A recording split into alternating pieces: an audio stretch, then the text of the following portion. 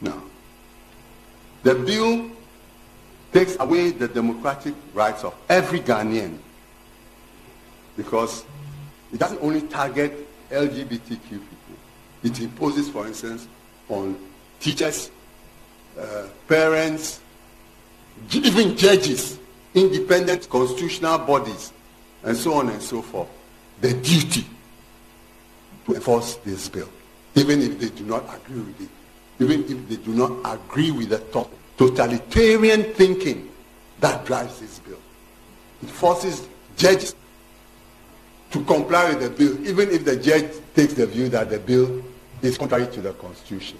Again, the bill, by criminalizing any act that seeks to bring about a change in public opinion, makes the bill a bill that cannot be turned into an act. An act that cannot be amended. This is, with all due respect, ridiculous, Mr. Chair. Because even our constitution can be amended.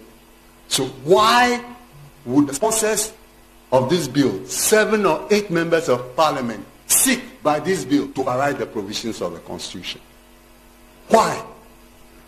Do they seek? Because if the bill is passed into act, the only way it can be amended is by advocating for change of the bill. And that the bill makes a criminal offense.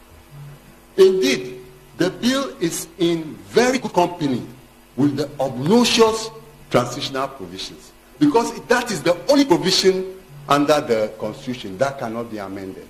And this bill is seeking to make the bill, if it's passed into law, a law that cannot be amended.